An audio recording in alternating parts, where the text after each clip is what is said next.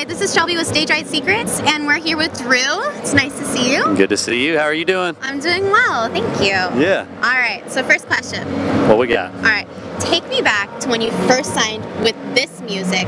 Where were you, and what was your reaction? Oh my goodness, it was a it was a long process. So I knew it was I knew it was coming um, when you get signed to a publishing deal. It normally takes like six months probably for them to finally say, all right, hey, you're part of the team. So Yeah. it was it was a very scary moment too um, of like.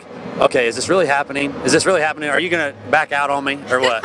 And uh, you know, it just I couldn't be more blessed to be there because Yeah. it's just been like these guys have taken me in, the whole team has, and just really become part of my story. And they're they're very uh, Christian based. My publisher is you know a great Christian man and always texts me all the time. Hey, we just gotta be thankful for what God's given us, you know, and, Awesome. and that's it's pretty awesome. Yeah, That's great. You've had the performance bug since you were very, very little. I have. Yes. So what's it like to actually kind of be living out your dream now?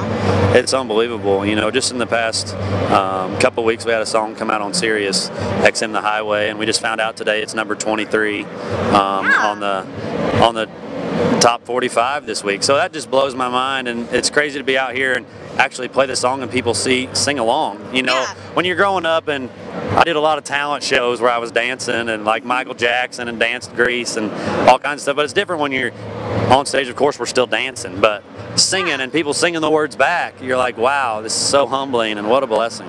Yeah, you're stealing my questions. Oh, I'm sorry. I'm sorry. I'm a thief.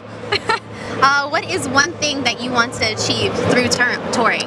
Sorry. I just I just want to achieve uh, you know legitimizing myself and the fans that I already have. Um, we've made a lot of fans in the past couple of years. and I'm just touring the Midwest, and I want to keep furthering myself in my music and my career, and uh, with better songs and better music, and the fans that I already have be happy in what I'm doing because Yeah. I'm, make the music for them. Of course, I make it for myself, but it's, it's for them. If I didn't have them, I wouldn't be able to make it.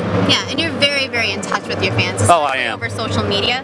And what is the weirdest thing that you've been asked over social media? Oh my goodness. I've been asked so many things. I've had somebody send me a message one time and said, Hey, are you ready for a cougar or anything like that? And I was like, Woo!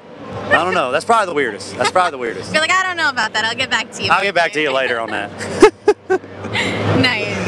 All right. So, if you have you ever had like a fangirl moment over like social media or in person, like seeing someone? Me have a fangirl like seeing an artist that I played with. Um, we played with Luke Bryan a while back, and I had a little bit of a fangirl time with that. But um, I'm a huge fan of Josh Turner, and uh, you know I grew up singing in church, and so he was one of my idols um, growing up and singing. And we played a couple of shows with him. We did a run up in the Northeast, and uh, I'll never forget coming up on stage and singing our set. And I told you know the whole crowd that Josh is the reason why I started doing country music. I moved to Nashville at, at uh, you know 19, but, but the reason why is because I saw Josh Turner at the Wild Horse Saloon. I've been there. It's an amazing. Place. Yeah, and my mom surprised me on my 18th birthday with tickets, and uh, I remember sitting front row, and just looking up and like, oh my gosh, this guy is just amazing. He's the best thing ever. And uh, so that was the night I kind of realized, you know, I think I'm gonna move to Nashville. I'm gonna try to do this. And then here it was, five years later, I was playing shows with him, and I played.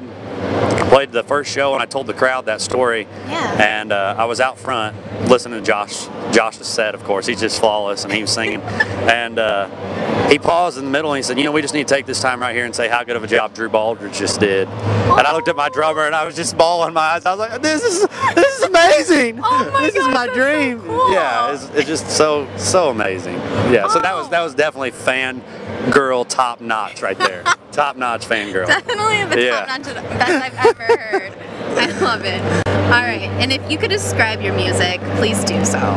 Um, well, the single that we have out right now is just a lot of dance. You know, we do Yeah. a lot of dancing on stage. I love dancing. I grew up, you know, dancing to Michael Jackson and talent shows. And Yeah. MJ was just one of my favorite. I know I'm a country dude, but Yep. I just love some MJ. And I just you got to do a cover. yeah, and uh, so I came in to write this song, and I knew I wanted to write something I could dance to. Yeah. And uh, so this single is very dance oriented, but a lot of the other music is, uh, you know, a lot of it's about small town life. And I grew up in a real small town in Patoka, Illinois, and there's some songs that we just cut in the past uh, couple of months. You know, one's called "Tractors Don't Roll," which I'm really happy about. It talks about um, on Sundays, you know, everybody the tractors work all week, but on Sundays the tractors don't roll, and um, you know, it's just a lot about small town living. Yeah, that's awesome. Yeah.